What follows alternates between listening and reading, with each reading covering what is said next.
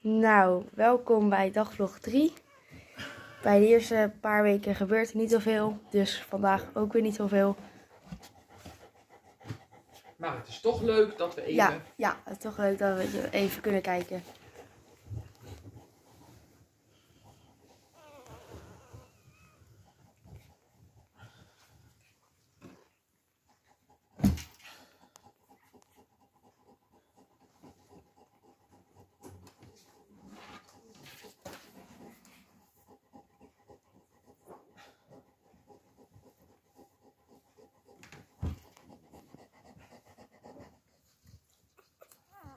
Nu slapen de meesten, maar net dronken ze alles even. Ze zijn gewoon uitgesteld.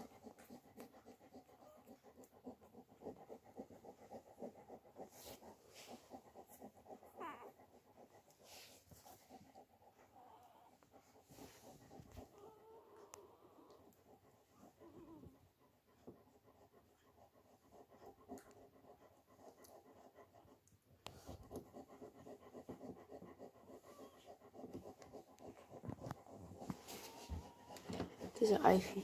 En Ivy is ook helemaal uitgeteld. Ivy.